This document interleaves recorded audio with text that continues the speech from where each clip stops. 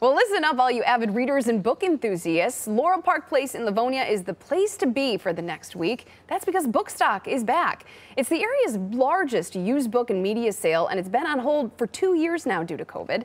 Here to tell us all about what's new this year and how the proceeds will benefit literacy programs right here in Metro Detroit are Neil Rubin, the event's honorary chair, and presenting sponsor Mike Morse.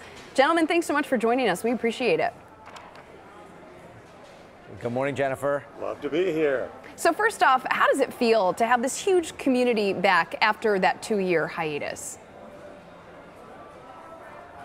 You know, it's great. I mean, this is, we love people who love books. And to see the rush when the doors open for the pre-sale at 8.15, it's really heartening. I mean, we didn't want people to forget us, and clearly they haven't. Absolutely. And let's talk about the stock now. I know that it's in the thousands. About how many books do you have, Neil? Not an exact number. I'm sure that would be impossible. More than 300,000. Wow. It's probably closer to 400,000, but you know, at this point, who's counting? And the sure. great thing about that is there's way more than we can display at any one time. So there's new merchandise being brought out every day of the sale. And Mike, this, this question's for you. This money goes to such an important cause, literacy. Why, for you as a local business leader, was it important for you to get involved? And talk to us about where this money is going and how it's going to come right back into the community. So, you know, my mom was a librarian. Books are super important to me and my family and my kids. And the fact, and I'm a huge recycler, right? So these are 20, 25, $30 books that are going for a dollar, $2. We've raised over $2 $1.2 million since we've been doing this.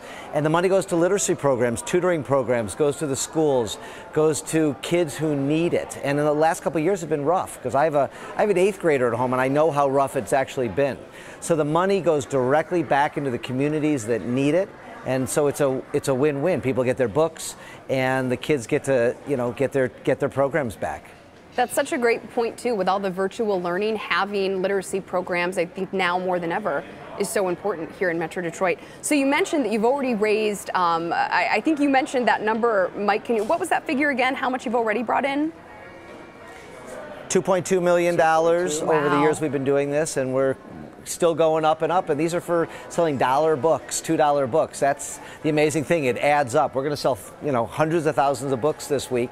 And people should come out and like Neil said, every day is a new set of books. So if you don't see something today, you might find it tomorrow. Mm-hmm. And my mom's out here volunteering. I just saw my mom, so you should come out and check her out and, and have, she'll help you find a great book uh, here at Bookstock. That's great. It's a family affair over there. And gentlemen, before we let you go, where should people go for more information? And I know this goes through May 22nd, right? Right. Uh, through May 22nd, bookstockmi.org will catch you up for everything. Books end to end here at the mall, plus a tent at the Dunham's entrance for people who aren't quite ready to come inside a mall yet, which we certainly understand. Um, a few sales along the way. Check the website again, bookstockmi.org. It'll get you all set up. And we'll a, probably see you out here. It's a lot of fun. It's a lot of fun. Neil Rubin and Mike Morse, thank you so much, gentlemen, for joining us.